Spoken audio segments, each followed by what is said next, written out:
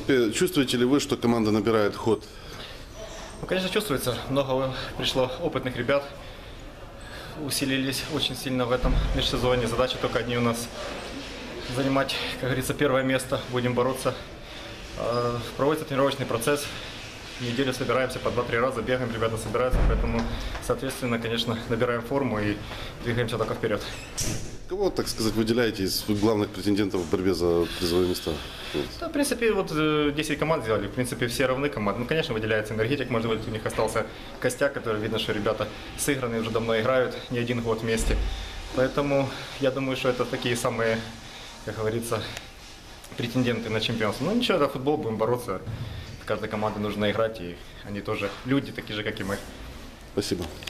Спасибо. Все?